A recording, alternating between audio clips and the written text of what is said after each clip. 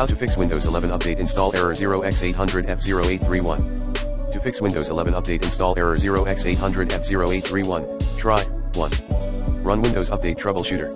2.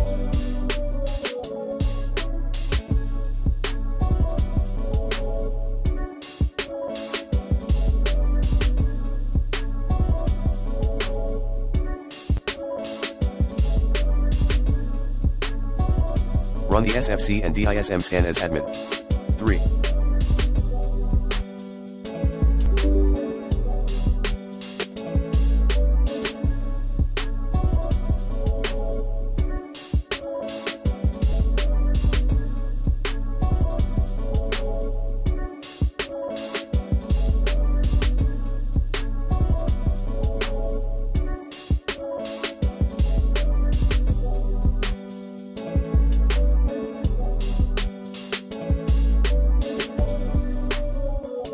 Restart the Windows Update service. 4.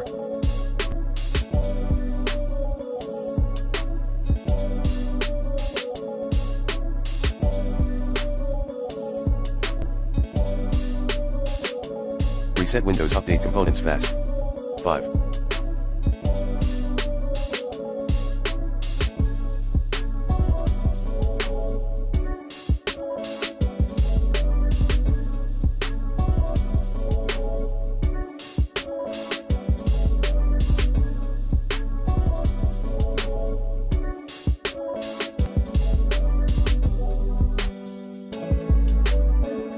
Disable any active VPN client or proxy server.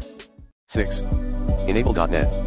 Framework 3.5 via turn Windows features on or off option. 7. Perform an in-place upgrade to repair Windows 11 using a bootable USB drive.